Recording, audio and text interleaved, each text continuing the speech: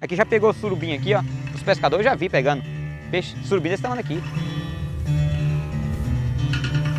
Aqui onde a gente está é a Lagoa do Juazeiro. Hoje ela está totalmente seca. Nesse lugar que a gente está pisado aqui é para dar uns 2 metros mais ou menos de profundidade de água.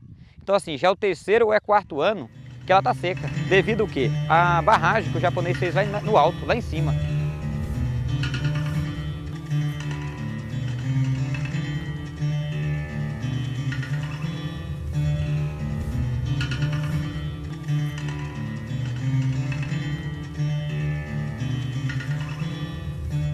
Então o que acontece? Ela não desce água, não desce peixe, não desce nada.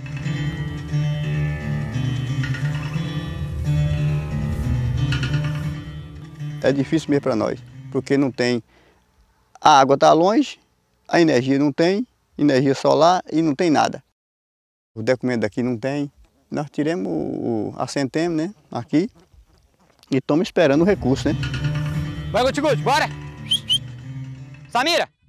Bora, Samira! Hoje a cisterna minha dá, dá o quê? Dá uns mil litros d'água. Mas para mim eu não consigo irrigar, não consigo produzir. Eu tenho que estar sustentando animal.